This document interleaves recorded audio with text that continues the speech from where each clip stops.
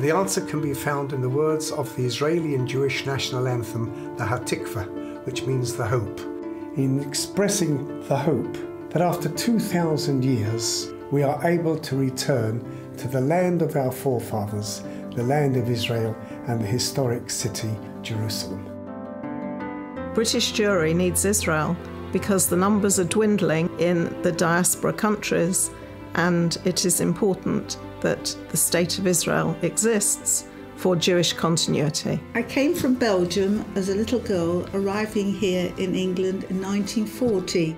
My parents were with me, and it was a very good sanctuary. But going to school, and I was bullied a bit by the children saying, Why don't you go back, you refugee, to your own country? I realised I didn't have one. This is what I used to travel on. This is a stateless passport. I live to tell my story. Six million murdered Jews did not, including my family. My mother, my father, my brother were murdered. Israel provides a sanctuary for all Jews now, and please God for future generations. As much as we might wish to integrate, there are going to be times when at least our comfort zone's threatened and maybe worse. Whatever troubles there may be, rises and falls and anti-Semitism, it's the one safe haven for Jewish people. I take pride in what Israel's achieved. You know, it's come in 65 years from nothing, and now it's a leader of uh, literature, it's a leader of high tech, it's a leader in the sciences. And I, maybe I don't deserve to, but I take great pride in that, and I think I have self confidence and self respect as a British Jew because of Israel.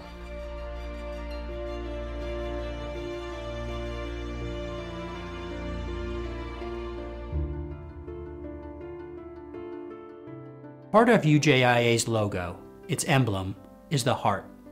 That is because Israel is at the heart of everything we do, just as it's been in the heart of Jews throughout history all over the world.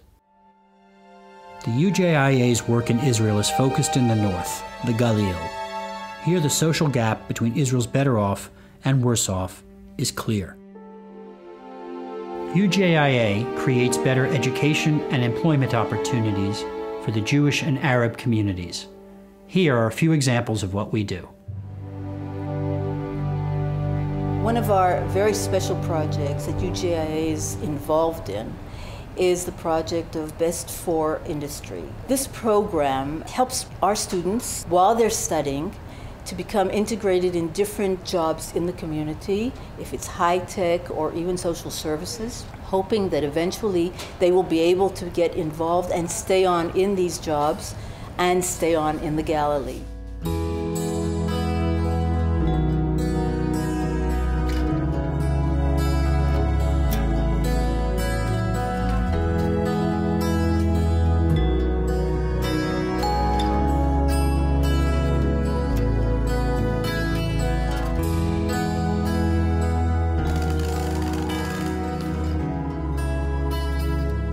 It's a holiday village for children who suffer from life-threatening illnesses. And they come here, Arab and Jewish children, who met the, in the hospitals and became very good friends.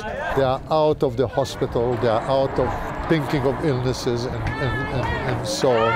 And you, you hear the sounds here. This is what you hear for five, six, seven days from the minute they get off the buses I'll take the opportunity to thank UJIA. They actually contributed a very, very important contribution. And because of their contribution, which is the medical center, we have the status of a hospital. Thank you very much, ladies. It was the ladies of the UJIA, so thank you very much, ladies. And we'll continue to hear from you and come and visit us.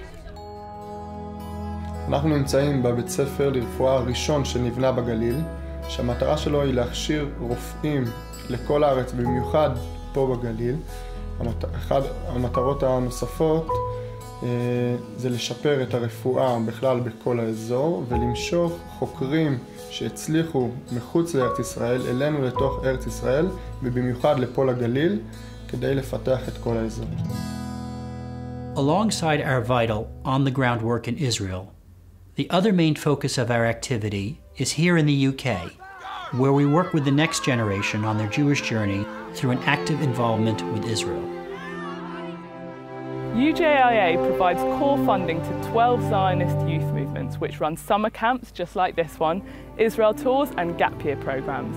We also fund Jewish societies on campuses and run the UJIA Birthright program. I myself went through the whole system, training as a volunteer youth leader, and now, thanks to UJIA, I'm a committed leader in the Jewish community.